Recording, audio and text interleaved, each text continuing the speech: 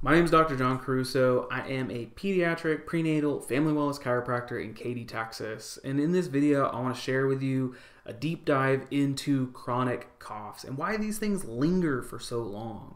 Because now more than ever, the one thing that we are seeing is that our kids' chronic sickness, so the congestion, the drainage, the coughs, are lasting so much longer and being so much harder to kick. Let's be honest, coughs can be the absolute worst, and they often come on after the congestion is cleared out. They disrupt our sleep, they make it hard for our kids to go back to school and for us as parents to go back to work, and they seem to linger for such a long time. And if your child is struggling with a chronic cough that won't go away or comes back after every little cold or congestion, then this video is for you oftentimes we really look for a more natural way to kick this cough and the immune system stuff. So we use humidifiers and nebulizers, extra pillows on the bed for drainage, you name it. As parents, we've all tried it. But far too often, what's being recommended is a suppressant or an antibiotic if it then settles in long term. And in this video, what we really want to talk about is what we can do instead of these medications and treatments, and then kicking this cough out before it ever becomes chronic and ever returning. I love sharing stories within my practice because we get to see cool things like this happen all of the time. And in a far too familiar and common story, I want to share with you a little bit about a little boy named Ryan. And then when Ryan came into our office, his mom shared with us that his immune system was pretty weak. He was getting sick for like three weeks at a time, and really that he was picking up any cold, any cough, any congestion, any virus and bacteria all of the time. And then he was really only having like one healthy week out of the month, if even that. He also had a lot of ear infections. And then with every single cold, like I said, he would then experience it for about two to three weeks or so. And it, they were really only getting that healthy week per month. And like many children, Ryan struggled with many things that then led to him having this consistent cough and immune system stuff. In addition to the cough and the chronic ear infections, he really struggled with sleep and he really struggled with speech stuff. And so his mom could really count on one hand how many times that Ryan was actually sleeping through the night in the first couple of years, and that she knew how much his ner- his nervous system and his weakened immune system was contributing to him being sick all the time. And so I love sharing stories like that because what's cool is that things change in a really big way for these kids. We start looking at the nervous system. Two really cool stories that Ryan's mom shared with me we were we were in his restoration phase of care. She was like, you know, he he got a fever over the weekend, and like what would have knocked him out for a couple of weeks, he kicked in like twelve hours. I was like, man, it's really cool what happens when these kids' nervous systems are clear and connected, and they're stress free, and things are functioning and working as well as they possibly can.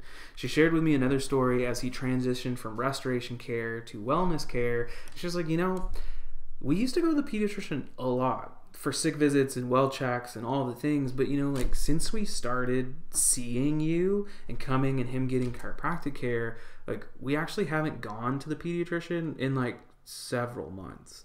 And like that's a really big deal. And i was like hey like these are the cool things that i hear from parents all of the time where it's like our kids used to be sick all the time for weeks on end. And now they're like kicking it and thriving. So he's able to come into the office and get adjusted. He's able to do his speech therapy and his OT. He's able to do all of the things that his parents are using resources and time to be able to go and do to support his health and wellness. And he's really building true health and wellness on the inside.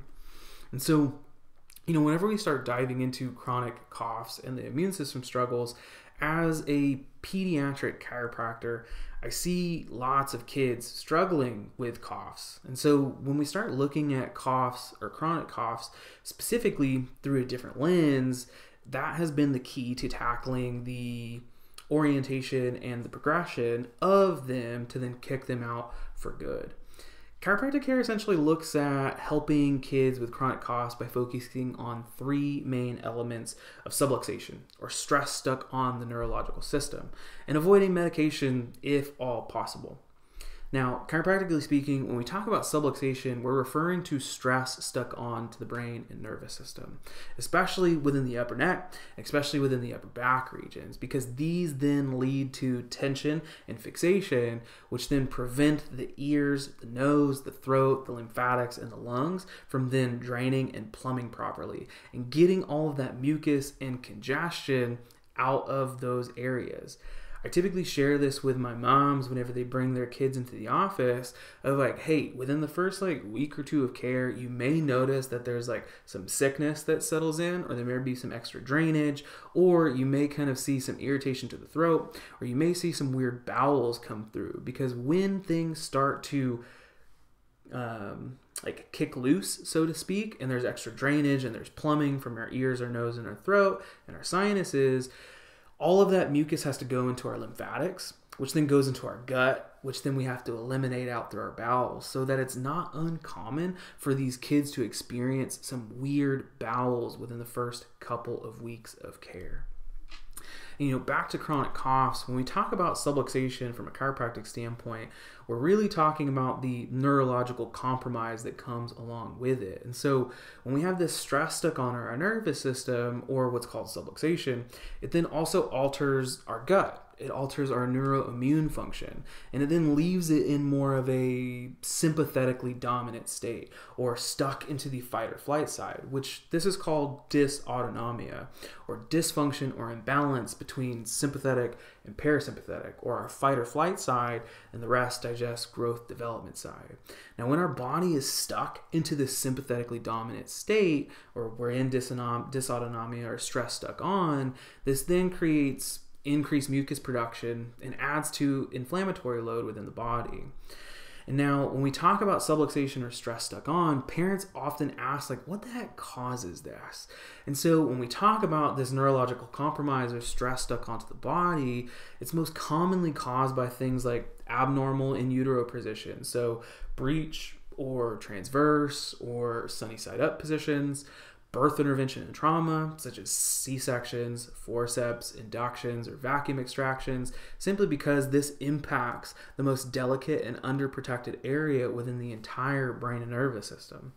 Things like falls and slips and trips and the, the accidents, especially with boys, that stuff happens more often than we'd probably like for it to, or even for our little babies with too much time in car seats and baby carriers, can really impact the way that things drain and contribute to the fixation or the tension stuck within the body. So when we start thinking about that, no matter what we naturally add in, that physical stress onto the brain and nervous system isn't really letting things work as well as it should. And chiropractic care really seeks to help children avoid medications and then thus preventing long term immune system suppression and weakening that can then increase the risk of asthma, allergies, and autoimmune conditions later on in life. This is exactly why so many parents are turning to drug free options like pediatric chiropractic care, which then addresses the root cause of chronic coughs. The first thing that really needs to be done to find out if chiropractic care can be helpful for your child is just simply setting up a consultation in the neurological exam where we can detect the presence of the stress stuck onto the nervous system or subluxation and that neuromuscular tension that's keeping things from draining. So often it's found that things like birth trauma, reflux, and even constipation have not really been fully taken care of. Yet, as the child grows, the stress stuck onto the nervous system or subluxation and chronic tension then contributes to other conditions like immune system suppression or chronic coughs. The neurological exams that we use within the office are called the insight scans, and we use those in our training and experience to let us know where to look most closely. Is it in that upper neck region? Is it the upper back region? Since those are the two most closely related to the function of our vagus nerve, the phrenic nerve, and the neuromuscular dynamics of our respiratory system. All of these systems can really affect a child's ability to kick the cough for good. And if you're concerned that this may be the case with your child, schedule a consult and an exam right away within our office.